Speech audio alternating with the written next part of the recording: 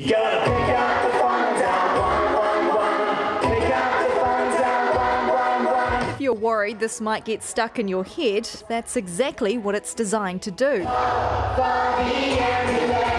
The 111 ambulance song launched at Auckland's Point View School today. We thought actually we need a song and something a little bit catchy that will get in the kids' minds, but also uh, provoke a conversation at home.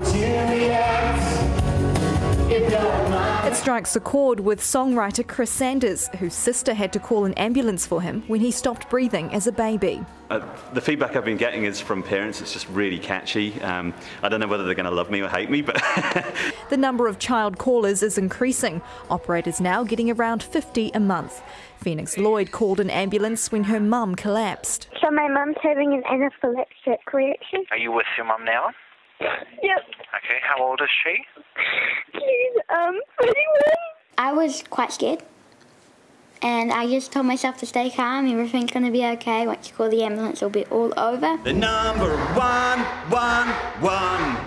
The song will be introduced to all schools and is available for download. There's got to be education now on, on how to, you know, unlock your, your phone, and it just starts a conversation too about actually what technology is around the home. Song's been in my head and I've just been singing it around and around everywhere. And that's music to the ears of emergency services. Jenny Suo, One News.